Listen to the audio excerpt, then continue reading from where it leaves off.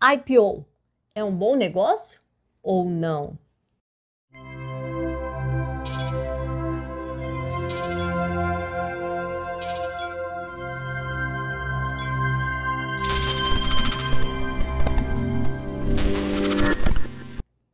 Eu sou a Naira. Eu sou o Alex. Nós somos o casal da Bolsa. Esse canal é para você que quer investir, economizar, mas não sabe nem por onde começar. Vamos dar dicas de como organizar e buscar os melhores investimentos. Então fique ligado. E aí, pessoal, tudo bem? Sumimos, né?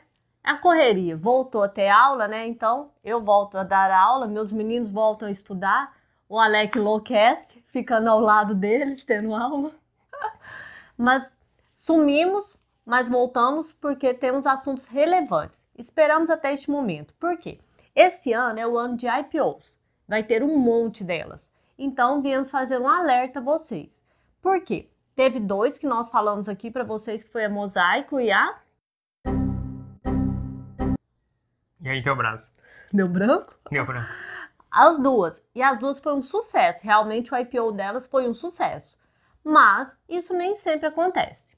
É, antes disso, curta e compartilhe nosso vídeo, tá? Lembrando que não é recomendação, então você, se for entrar numa empresa, no IPO de uma empresa, ou normalmente só comprar uma pequena ação, você tem que analisar os dados dessa empresa e ver se realmente ela tem uma base forte e que vai crescer no futuro. É, é bom sempre olhar porque o que, acontece? Hoje o mercado não tá, vamos dizer assim, que tá meio maluco.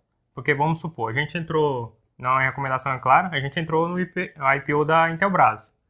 Uma empresa aí já com muitos anos de história. E a outra que entrou no mesmo dia foi a Mosaico. Uma empresa só digital. Às vezes você nem conhece o site, mas é, é o que, que aconteceu? Uma empresa sólida, com bons Física, gestores, físico. físico, ou seja, ela subiu menos que uma só digital. Então o mercado ele está tendendo um pouco mais a empresas digitais, mas tá meio irracional. Então tem que tomar muito cuidado com isso. Você tem que olhar a estrutura da empresa. Hoje queremos falar para vocês, primeiro, vamos comentar de duas. Não era para comentar essas duas, mas vamos comentar.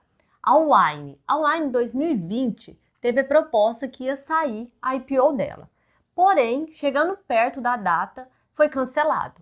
Agora tem rumores, tem boatos que está querendo voltar. A Wine é uma empresa praticamente digital também. Ela tem algumas é, lojas físicas, tecnologia. faz alguns eventos, mas o grande sucesso dela, ela tem um clube de assinatura. Isso. Você é assinante, você recebe na sua casa vinhos que são escolhidos por eles. Eles escolhem. Você preenche um perfil falando qual Isso. o seu preferido, o seu estilo, e eles escolhem pelo mundo e manda para sua casa. Nós já fizemos um vídeo sobre a Wine, dá uma olhada no vídeo, dá uma olhada na estrutura da empresa, vê se te interessa e estude, porque quando sai o IPO, você não ia entrando de cabeça sem analisar primeiro se vale a pena ou não.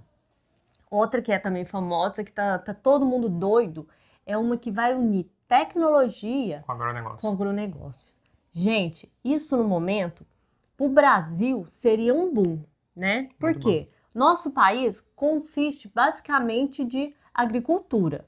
Ele exporta muito, então, ele, se ele conseguir desenvolver a tecnologia nessa área, tem grande potencial de crescimento, né? É, e essa empresa ela tem de vários, vários setores, é, é produtos, é Insumo. su, suporte, insumos. Então ela tem, ela vai agregar esse mercado de agronegócio por completo e juntando com o digital.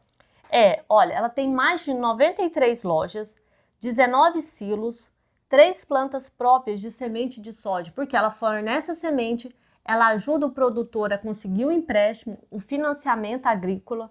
Ela está em tudo, em todo o ramo ela consegue ajudar o produtor agrícola. Então, e ela está trazendo a tecnologia junto. É uma empresa que tem, igual a Alex falou, produtos, fornecedores, soluções de financiamento, assistência técnica.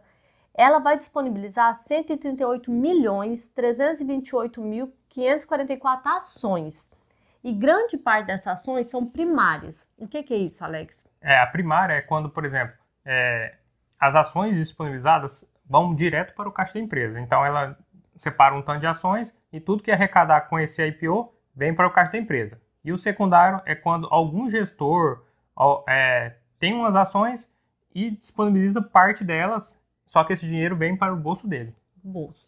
Então, se a empresa, a grande parte dela é primária. Isso. Ou seja, o dinheiro vai entrar para a empresa e é ela bom. vai fazer investimentos nela própria, ou seja, crescimento, mais desenvolvimento. Os gestores são poucos que estão se fazendo delas, né? É.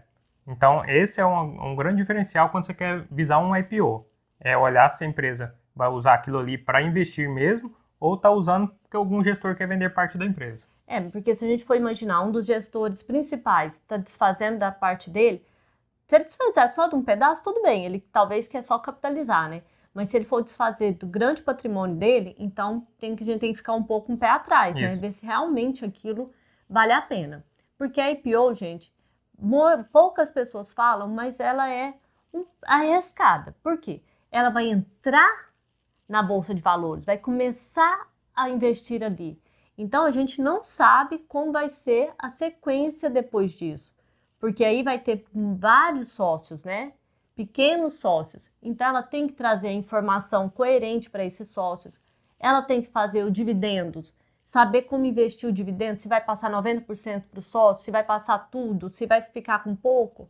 Então, isso é perigoso, se a empresa não souber administrar essa parte. É, e, e como falei, o mercado hoje está irracional. Por exemplo, vamos supor, hoje entrou uma a, a Bimob, que é uma empresa de tecnologia, as ofertas dela foram praticamente primárias, hoje está subindo 20%.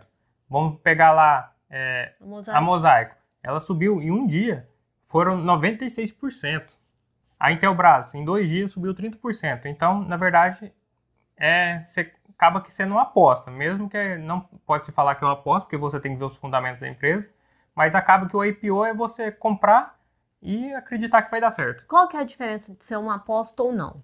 Por exemplo, se eu confio na empresa, eu Isso. olhei a estrutura dela, Os fundamentos. os fundamentos, acredito que a empresa é boa, não é porque ela não subiu, igual a que o Alex comentou hoje, qual que é a mesma de A hoje? Bimob. A Bimob. Não é porque ela sub- não subiu 90% que eu, não, que eu quero vender já. Não, se eu comprei é porque eu confio na empresa e eu vou deixar ela quieta lá Isso. até o momento que eu queira desfazer. Mas não entre no IPO pensando assim, vou comprar a ação, ah, deve ser boa, vou comprar a ação e quando subir 90% eu vou e vendo. Não pense isso, porque nem todas vai acontecer esse mesmo crescimento, Na né? verdade, agora é o, é o ponto principal do vídeo. É alertar que tem que tomar cuidado com a IPO. Porque você pode, por exemplo, comprar e a ação, por ser ter precificado um pouco alto, na, na abertura do, das negociações, ela vem a cair. Então, você, é um alerta que pode acontecer isso. Não é só flores. Por exemplo, os últimos todos deram certo. Mas não é só porque você vai entrar num aqui amanhã que vai dar certo também. Então você tem que entrar consciente. Eu vou entrar porque eu acredito no fundamento da empresa e Isso. quero essa empresa. Não entre para especular, porque isso é perigoso. Exatamente. Só se você tiver um dinheiro para especular, né? É, lógico assim, a gente trabalha muito falando de diversificação. Por exemplo, eu com os amigos nossos, a gente fala assim, ó, porque tem uns que quer entrar em Oi, quer entrar em outras empresas que estão em recuperação judicial, aí a gente fala, ó, pode entrar, beleza, mas separa um capital ali, que vamos dizer assim, é o dinheiro da pinga e não do leite, entendeu? Então esse dinheiro você pode especular, porque é um dinheiro que vai que deu certo, aí dá uma pancada boa. É o risco. A gente Isso. fala que é o seu capital de risco. Isso. Todo mundo pode ter um capital de risco na carteira. Guarde uma porcentagem, em torno de 3% né, da É, carteira três, que sim. é viável, tá? Então, É isso aí. Lembrando que não é recomendação, falamos de dois IPO que vai acontecer e quando tiver perto de acontecer, nós vamos fazer o vídeo deles, porque tem um que tá, o pessoal tá esperando muito, que é o de agro- agronegócio com a tecnologia. Como que é o nome da AgroGalaxy? Agrogado.